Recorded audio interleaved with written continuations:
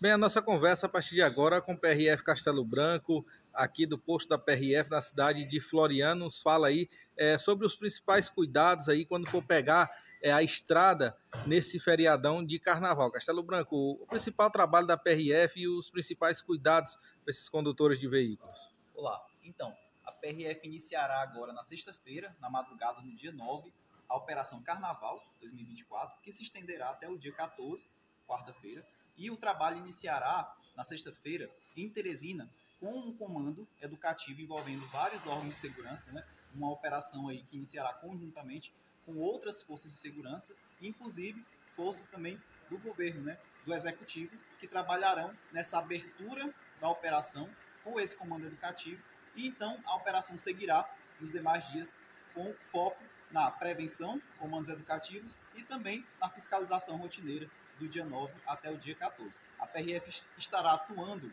em todas as rodovias federais do Piauí, entretanto, ela focará, né, de modo a otimizar o trabalho, nas regiões onde os índices de acidentalidade e criminalidade né, indicam ser maiores nesse período, como por exemplo, na região aqui de Floriano, onde tem essa cultura das festividades, né, ser mais frequentes nesse período, e também Luiz Correia e Água Branca.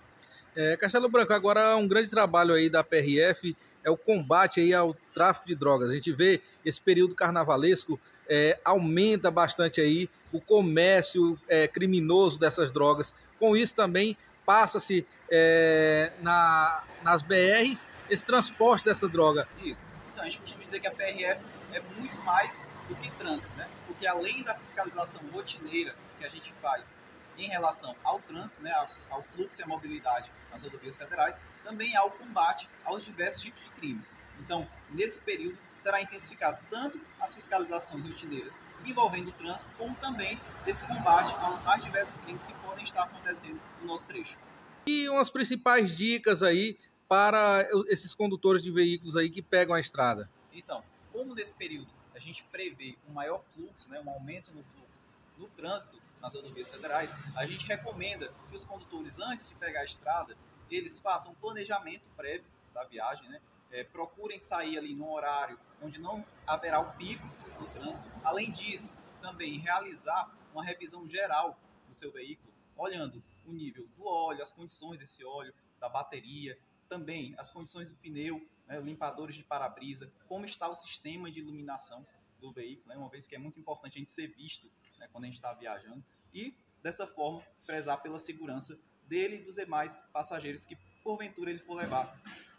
É, obedecendo às normas de trânsito, utilizando os equipamentos de segurança, cinto de segurança, capacete e principalmente também né, deixando de ingerir bebida alcoólica antes de dirigir.